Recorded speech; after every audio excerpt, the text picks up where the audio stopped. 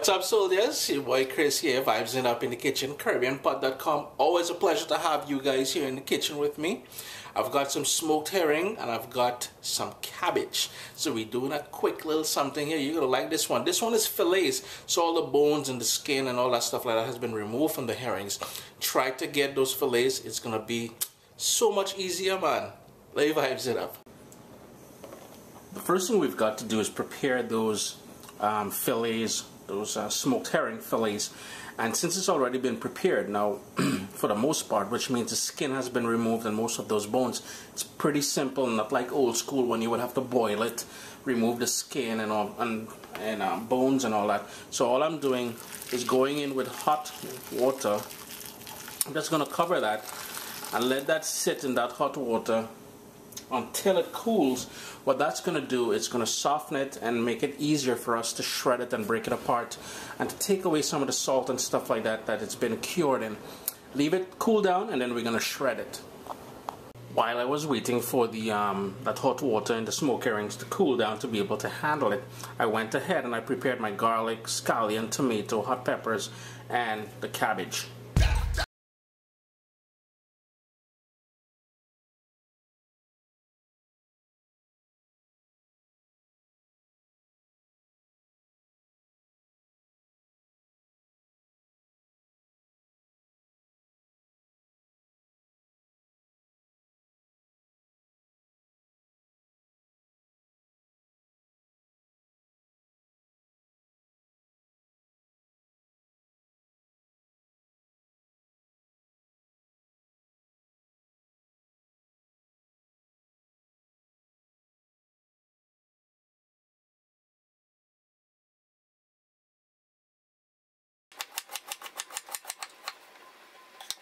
Gone ahead the water is cool. Now I dumped it all out and I squeezed most of the water out of the uh, herring fillets here.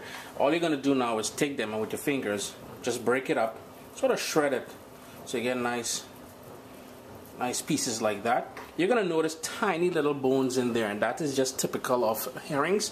Don't worry about those. Those won't do any uh, sort of problems when you're eating it because they're very very very tiny and very soft if you do come across any sort of hard pieces though, you want to get rid of it.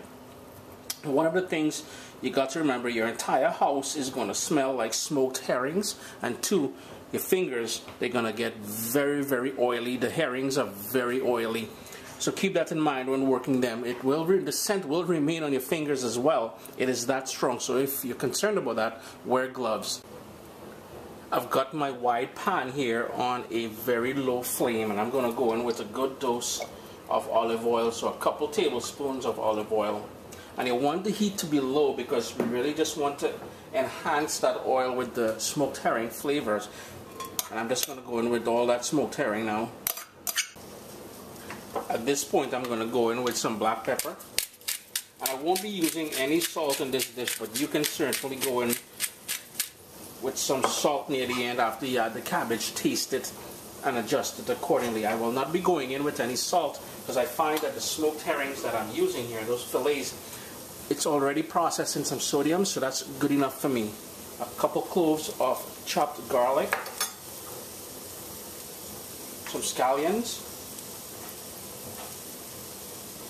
and I have here some fresh thyme. These are baby thyme, so I'm just going to rip it up any sort of tough stalk I will remove stems. But for the most part that is good in there. And I've got here I'm going to use a couple of these bird's eye chili or bird eye or bird pepper as we call it in the southern Caribbean. Seeds and everything because I want that little kick from it. Let that go slowly there low heat for about two or three minutes. Now if you wanted to go in with some shado beni or cilantro in there some parsley that is cool as well some um, sliced onion. I mean to say, you do your thing, right? Next up, we're to go in now with all that chopped up cabbage.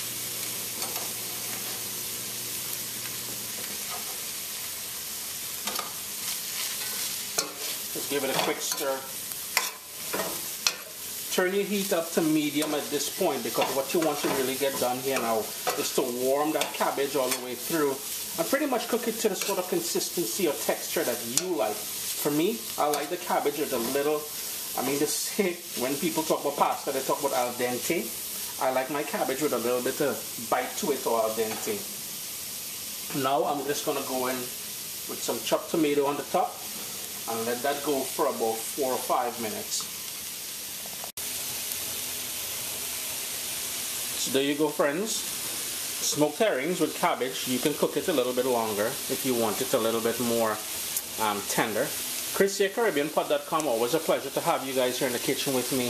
If you're wondering about the sort of tape I have on my finger there, I got busted at the gym this morning. Your boy was going savage with the weights. And you know, sometimes I just don't understand the sort of strength that I have.